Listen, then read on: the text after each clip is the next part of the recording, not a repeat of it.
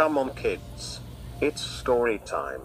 Dora doesn't look too happy. I wonder why. Today's story is called Dora Joins the Circus.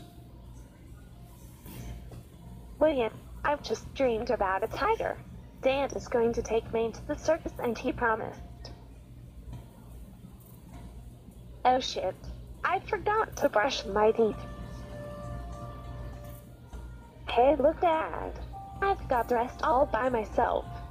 Uh, I can see that. And you did a good job, but it is so early.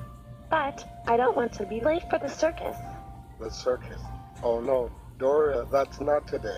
The circus isn't until tomorrow. No, I want you today. What? I just got all dressed. It is to be today. Dora, shut the fuck up.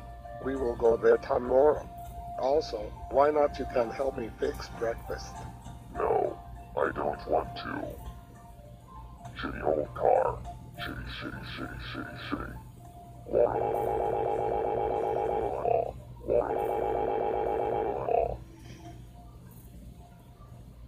Dora, how dare you throw in a fit? That's it. You are grounded, grounded, grounded one five six five six eight two three two two zero two three nine four six zero six zero zero zero zero years. You are not going to the circus tomorrow. Now go to your room.